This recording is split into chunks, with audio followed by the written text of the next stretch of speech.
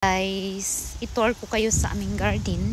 So ito guys, tumutubo lang talaga ditong DC guys. So yun nakikita ninyo guys, ang ganda nito guys. Ah, yan nakikita ninyo, merong ano yan, merong bubuyog. Yung parang bubuyog. Hindi lang ninyo makikita kasi ang hangin.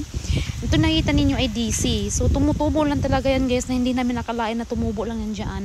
So dito tayo habang naglalakad tayo ng nakaano lang tayo.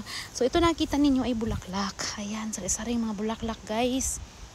Yan, nakita ninyo, sari-saring bulaklak po yan guys na makikita lang natin dito. At ito inalagaan talaga namin yan.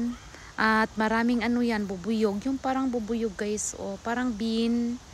Oh, yan. Ayan. Kumakain yan siya ng mga ano, mga mga mga ano ng bul bulaklak ba kasi 'di ba 'di ba matamis yung bulaklak. 'Yan mga katas ng bulaklak. So dito tayo ngayon sa aming garden. Ayan. So habang naglalakad si madam ng nakachinelas lang. So dito. So yun nakikita ninyo. Yun po yung aming garden. Ayan guys, napapakita ko sa inyo. Oh, inang ganda nito guys. As in. Ayan. Tumutubo lang yan sila dito guys. As in. And winter ano siya. Pang winter talaga siya. Pang winter. So dito tayo. Eto. Pang winter talaga yan siya guys. As in so yun.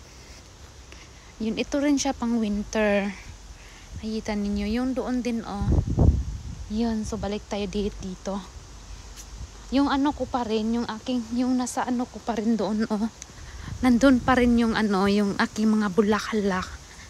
O oh, diba so ang pangit ng panahon guys parang umuulan na siya as in so nandito yung aking ayan oh Ayan, oh. So, nandito ang aking kamay. Ala. Oh, diba? So, yun po yung aming garden dito. Tutor ko kayo dito sa aming garden, guys. Natutor ko na to one time. As in. Ayan. So, ito, yellow-yellow yan. Ngayon, wala na talaga as in. So, yung aming bambos. So, yung isda namin natutulog na yata. Joke lang. Ayan. Ayan, oh. Ang gaganda, guys. As in talaga. Hmm? Ganda ng mga bulaklak dito sa aming lugar. Of course guys, alagaan mo rin yan. So, yan, tutor ko kayo dito. Yan, so ito. Yan, as in. Kung saan saan na lang sila tumutubo. Mm. Yan. Pag tuwing gabi dito guys, ang ganda guys. Kasi ang ganda ng tanawin.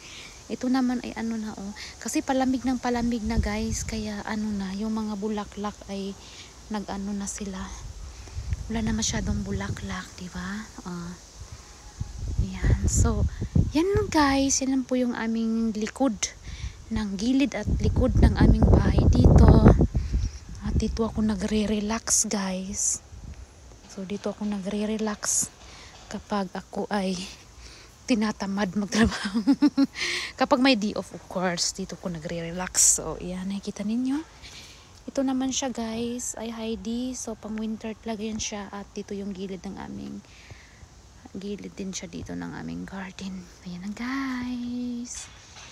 Yun. So I hope guys nag-enjoy kayo sa ating vlog today. Ayan. At ayan ano lang po guys, enjoy lang po natin ang buhay natin dito sa ating uh, ano, ating bahay ampunan. Ayan guys, see you next vlog guys. Bye bye.